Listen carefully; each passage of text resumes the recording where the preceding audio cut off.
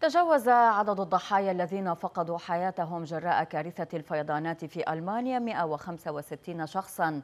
وقالت الشرطة الألمانية أن أكثر من 670 شخصا ما زالوا في عداد المفقودين.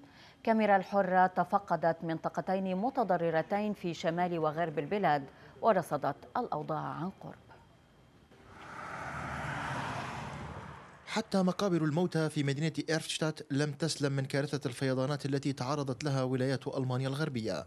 المياه غمرت أكبر شوارع البلدة البالغ عدد سكانها خمسين ألفا. فرق الإنقاذ بمساعدة الجيش الألماني والغواصين واصلت البحث عن جثث سائقي السيارات الغارقة في مياه الفيضان إلا أنها لم تعثر على أحد واقتصرت الخسائر على السيارات والشاحنات.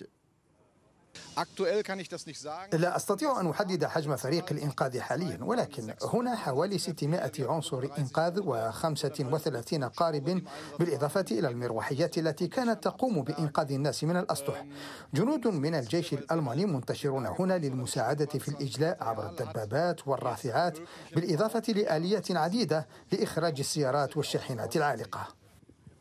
أهالي مدينة إيرفشتات في ولاية شمال الراين هبوا لمساعدة بعضهم في تفريغ الأقبية المتضررة بعد أن ملأتها مياه الفيضانات. جئت لمساعدة أحد معارفي هنا فهم ساعدونا بالأمس. لقد قمنا معا بتفريغ القبو بشكل كامل. إنها خسارة كبيرة. لقد افتتح مطعمه قبل أسبوعين بعد إغلاقات كورونا والآن تأتي هذه الكارثة. إنه أمر محزن للغاية. أما في ولاية راينلاند فالس وتحديدا في قرية شولد البالغ عدد سكانها حوالي 600 شخص فقط كانت الخسائر أكبر. بيوت وممتلكات مدمرة وركام متكدس وجسور محطمة وحالة حزن عمت القرية الجبلية الصغيرة بعد أن تحول نهرها الهادئ إلى سيول جارفة.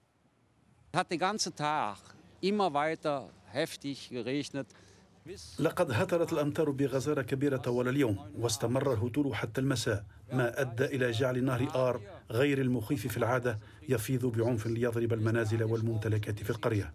فالمياه تبحث دوما عن طريق لها وملأت هذا الشارع بالكامل. وفي حين قدرت الخسائر الأولية للكارثة بأكثر من مليار يورو ينتظر الألمان حزمة المساعدات التي قد تعوض جزءا كبيرا من خسائرهم المادية على الأقل. كارثة هائلة لم تشهدها ألمانيا منذ عشرات السنين.